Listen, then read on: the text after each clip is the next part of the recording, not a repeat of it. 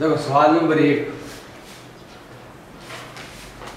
एक सप्ताह की औसत वर्षा है दे रखी है सोमवार को छोड़कर। कितनी दे रखी है? दस सेंटीमीटर। औसत है। तो औसत को क्या करते हैं? हमेशा गुणा करते हैं, पर कुल कुल ज्ञात होती है। देखो, ध्यान दो। सोमवार को छोड़कर मतलब क्या है? मंगलवार से लगाकर कहाँ तक? सोम, मंगलवार से रविवार तक। कितने दिन हो गए? छह दिन का औसत कितना दे रखा है आपके? दस। तो ये होता है आपके सात। सोमवार सोमवार क्या ज़्यादा हुई। तो दिन कितना हो गया? आप एक दिन एक्स्ट्रा हो गए। जुड़ गया तो अब वो हो गए आपके सोमवार से रविवार। कितने दिन? सात दिन हो गए अब। सात दिन की औसत वर्षा दे रखी है आपके? पंद्रह। ये तो है आपके छह दिन की और ये है आपके सात दिन की। तो दोनों अब तो ये कितने हो गए आपके? 105 मतलब दोनों अंतर कितना है? 45 सेंटीमीटर का अंतर है। और यहाँ और यहाँ अंतर किसका है बताओ? सोमवार का। एक अंतर है वो सोमवार का। ये हो गई आपको सोमवार को भारी वर्षा हुई। तो सोमवार को वर्षा हो गई आपके 45 पैतालीस सेंटीमीटर वर्षा आगे समझे? अब है दूसरा। दूसरा दे रखा है आपके क्वेश्चन इसमें आपके पहले है, व्यक्तिगत श्रेणी के क्वेश्चन है। ये वाले क्वेश्चन है, व्यक्तिगत श्रेणी के आपके एक से लगाकर दो से लगाकर सात तक। दूसरा तीसरा चौथा, ये सब क्या है? व्यक्तिगत श्रेणी के ये। इसमें हमें रोल नंबर को नहीं लेना है। हमें सीरियल नंबर को भी नहीं लेना है, जनवरी, फरवरी को भी नहीं लेना है, मार्च, जुलाई ऐसा आता है, उसको भी लेना है, सोमवार, मंगलवार को भी आपको नहीं मानना, उसको रहने अब देखो, सबसे पहले तो क्वेश्चन दे रखा है, आपको सवाल नंबर दो, उसमें कोई भी क्वेश्चन हो, हमेशा सवाल को कैसे जमाओ आप आरोही क्रम में जमाओ। असेंडिंग ऑर्डर में। आरोही क्रम में जमाओ। इसमें देखो आपको ऑलरेडी आरोही क्रम में जमाया हुआ है। ये हो गया दस, सत्रह, उनतीस, सौ सौ, एक सौ बारह, एक सौ पंद्रह, एक सौ बीस, एक सौ पच्चीस, एक सौ अट्ठाईस और ये हो गए आपके एक सौ चौंतीस। सबसे पहले ज्ञात करेंगे हम समांतर माध्य। तो समांतर माध्य का सूत्र क्या है ज्ञात करने का? सिग्मा एफ़ सिग्मा एक्स गति श्रेणी है एफ़ आती नहीं है। तो सिग्मा एक्स बटा एन क्या राशियों का योग बटा राशियों की संख्या। संख्या। राशियों का योग आ रहा है आपके 990 और राशियों की संख्या हो गई कितनी आपके? 11 कितने टोटली? 11 ये हो गए आपके 90 फिर है मध्य का ये जो आर्य क्रम जमाया हुआ है मध्य का के लिए जमाया हुआ समांतर माध्य का उससे कोई मतलब नहीं बहुलक का भी उससे कोई मतलब नहीं और तो जेड तो जेड कितना होगा जेड जेड होगा आपके 100 सबसे अधिक बार आने वाली संख्या।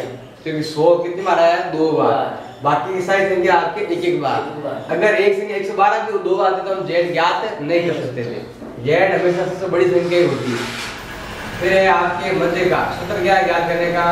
एन प्लस वन बटा दो वापन। अब देखो एन कितना है? ग्यारह। ये एक, दो, तीन, चार, ये वाला पद। कितने हैं? ग्यारह। प्लस एक बटा दो। कितने हो गए? बारह बटा दो। ये हो गए आपके नंबर चार वा पद। नंबर चार पे आने वाला। उत्तर हमेशा कहाँ होता है? इसी में से कोई एक उत्तर होता है। एक्स में से। नंबर चार पे कौन आएगा? एक, दो, तीन, चार। तो बताओ मध्य कितनी हो गई आपके? कौन? चार होगा। छह छठा पद। तो ये चार, पाँच और कितने हो गए? छह तो मध्य का हो है आपके एक सौ बारह। अब देखो, तीनों आगे। अब आपको पूछ ले, मान लो बाई चांस क्यू वन भी पूछ ले, दिया वन भी पूछ ले तो क्या होगा क्या करेगा? एन प्लस वन बटा चार। ये चतुर्थक है। क्वाड्र ये चतुर्थक है तो चार का भाग लेगा इसमें। अब एन कितना है? ग्यारह प्लस एक बटा चार मतलब बारह बटा चार मतलब के तीसरा पद। तो नंबर तीन पर कौन आ रहा है? तीसरा पद। वन टू थ्री कितना आ रहा है? उनतीस। तो ये हो जाएगा आपके उनतीस। फिर अगर आपको पूछ ले क्यू थ्री कितना है तो थ्री कोष्टक एन प्लस वन बटा चार। तीन का तीन। या ऐसे लिख सकते हो ये भी लिख सकते हो। याद देखो क्यू वन प्लस वन बटा चार क्या कहते हैं? क्यू वन भी कहते हैं। ये भी लिख सकते हो आप। तो तीन का तीन, कौन सा पद है? इसका तिगुना ही है। तो इसे तीन से गुणा कर लो। तो ये हो गया आपके नौवा पद। नंबर नौ पर आने वाला पद।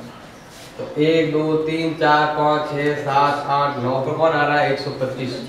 ये हो जाएगा आपके एक सौ पच्चीस। फिर है आपके, मान लो पूछ ले कि क्यू एन नंबर तीन पूछ ले। तीसरा पंचमक। नंबर तीन तीसरा पंचमक पूछ ले आप तीसरा कौन सा है ये? पंचमक मतलब पाँच में से तीसरा पंचमक तो बताओ क्या होगा? पंचमक है तो भाग में जाएगा आपके। पाँच का। पाँच का। और गुणा किससे करेंगे? तीसरा पूछा है तो तीन से गुणा कर। अगर यहाँ दो होता तो दो से गुणा करते। चार होता तो चार से गुणा करते। ये हो गया एन प्लस दो। तीन का तीन। एन कितना है? ग्यारह प्लस एक बटा दो।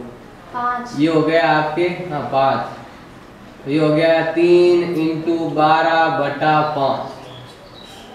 तो दो कितना हो गए छत्तीस बटा पाँच। बराबर आएगा आपके सात पॉइंट दो पद वैसा आ गया।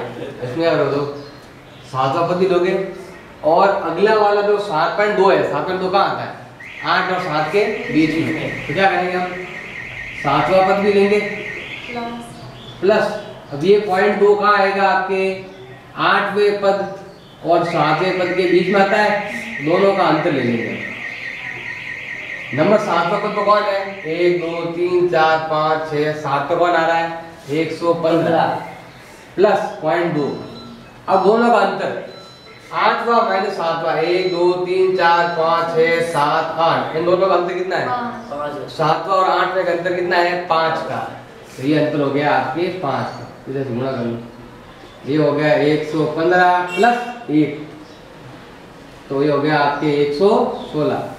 गुणा कर देख लो, पाँच इंटू पॉइंट दो पाँच में दस एक छोटे पॉइंट लग जाएगा।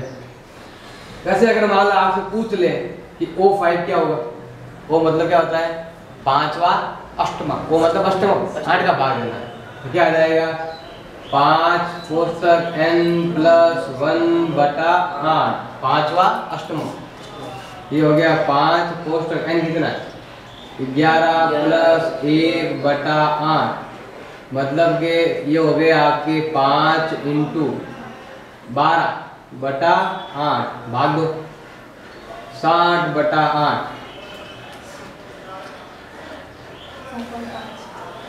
ये हो गए आपके सात पॉइंट पांचवा पद अब ये कहाँ आता है आपके? सात और आठ के बीच में। तो सातों लेने ही तो क्या करेंगे हम? अब सातवां पद तो लेने ही प्लस क्या करेंगे हम? पॉइंट पाँच लिखेंगे और आठवां और सातवें पद का अंतर लेंगे। आठवां पद माइनस सातवा पद। नंबर सात पर तो यही बताइए कितना है? एक सौ पंद्रह। प्लस पॉइंट पाँच। इंटू पाँच यही आठवां सातवां अंक यही है। ये हो गए एक सौ पंद्रह प्लस दो पॉइंट पाँच। ये हो गए आपके एक सौ सत्रह पॉइंट पाँच। ऐसे ही पी ए टी ज्ञात कर सकते हो, ऐसे ही आप दसमक ज्ञात कर सकते हो। उतारो।